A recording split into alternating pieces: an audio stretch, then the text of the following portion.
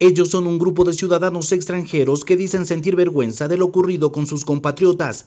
Llegaron a Tulcán hace algunos meses atrás y aseguran que han recibido el apoyo de autoridades, una de ellas del administrador de la terminal terrestre.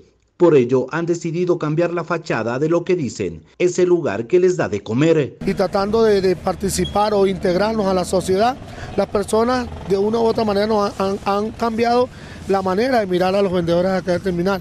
Si nosotros demuestra agradecimiento, ya que nosotros comemos todos los días, mantenemos nuestra familia de parte de esta parada que es el terminal y de la palabra de la lechera, es muestra de agradecimiento.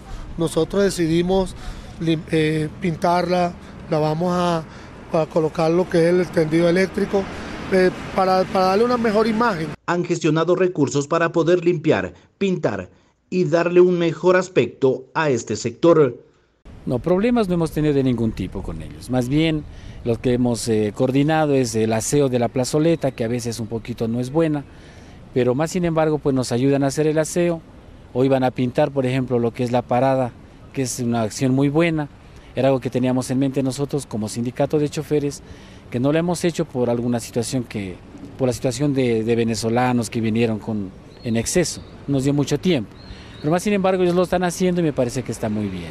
Desde la terminal se mantiene la vigilancia permanente, por ello se ha permitido la identificación que permite distinguirlos en caso de algo negativo provoquen. Nosotros les hemos estado apoyando de alguna manera en, en que ellos, eh, por ejemplo, quieren ponerse un chalequito que parece que está muy bien que bueno, está bien que se pongan para que se, se, los identifique de mejor manera y la gente no los vea como personas a lo mejor que les va a hacer daño. Para TVN Canal, Enrique Portilla.